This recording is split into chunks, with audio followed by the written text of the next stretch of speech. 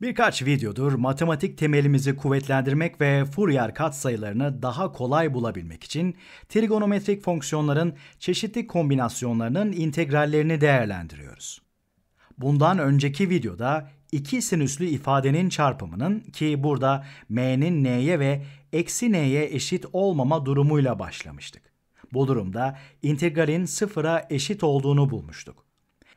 M n'ye eşit olduğunda ise sinüs kare t'nin herhangi bir katı gibi bir ifade elde ediyorduk.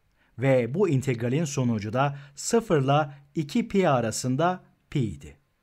Bu arada bir önceki videoda bunu istediğim kadar net bir şekilde ifade edemediğimden bunun m sıfırdan farklı bir tam sayı olduğunda doğru olacağını da şimdi eklemek istiyorum.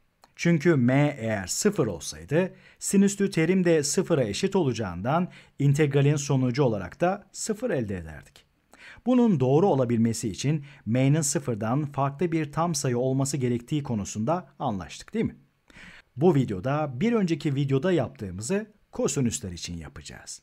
Başka bir deyişle m ve n birbirlerine ve birbirlerinin negatiflerine eşit olmadıklarında bu kosinüsler çarpımının sıfıra, m ve n sıfırdan farklı bir tam sayı olup da birbirine eşit olduklarında ise kosinüs kare mt ifadesini elde edeceğiz. Ve bunun da pi'ye eşit olacağını göreceğiz. Bunları size gösterirken de yine bir önceki videodaki gibi bazı trigonometrik özdeşliklerden faydalanacağız. Hadi bakalım. Öncelikle bunu yeniden yazalım. Sıfırdan 2pi'ye kosinüs mt çarpı kosinüs nt'yi toplam çarpım formülüyle 1 bölü 2 çarpı kosinüs mt ve nt'nin farkı ki bunu da m eksi n çarpı t olarak yazacağım. Artı kosinüs mt ve nt'nin toplamını da m artı n çarpı t olarak yazalım. dt'yi de ekliyorum.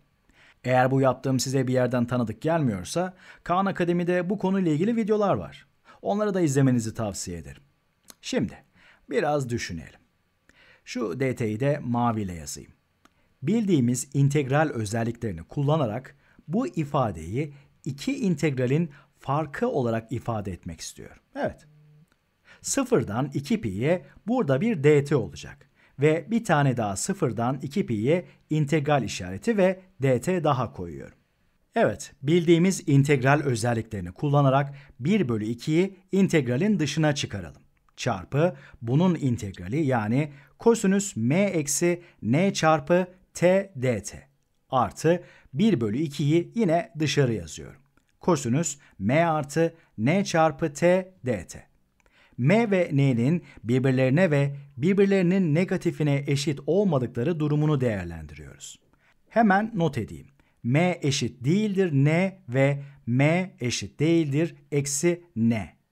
m ve n'nin tam sayı olduklarını da unutmayalım. Şimdi bu durumda buradaki ifade sıfırdan farklı bir tam sayıya eşit olur. Öyle değil mi? Aynı şekilde bunun da sıfırdan farklı bir tam sayı olacağını söyleyebiliriz. Ve daha önce gördüklerimize dayanarak işte burada buradaki katsayı sıfırdan farklı olduğunda bu integralin sıfıra eşit olduğunu biliyoruz. Evet, sıfırdan 2pi'ye kosinüs sıfırdan farklı bir tam sayı çarpı t, dt'nin integralinin sıfır olduğunu biliyoruz. Ve buradaki integraller de aslında bundan farklı değiller kosinüs sıfırdan farklı bir katsayı çarpı t dt. O halde m ve n birbirlerine ve birbirlerinin negatifine eşit olmadıklarında bu integrallerin ikisi de sıfıra eşit olacak. Sıfırları 1 bölü 2 ile çarpınca da sıfır elde edeceğiz. Ve böylelikle bu integralin sonucunun da sıfır olduğunu bulacağız. Harika.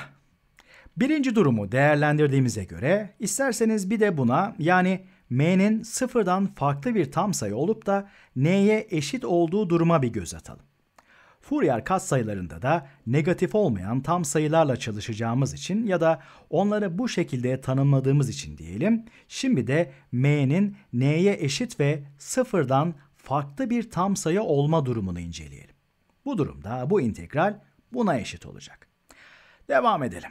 Bakalım m sıfırdan farklı olduğunda ve n'ye eşit olduğunda burası sıfır eder.